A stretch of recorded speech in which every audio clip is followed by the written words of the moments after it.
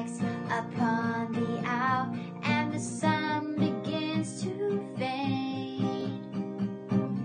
Still enough time to figure out how to chase my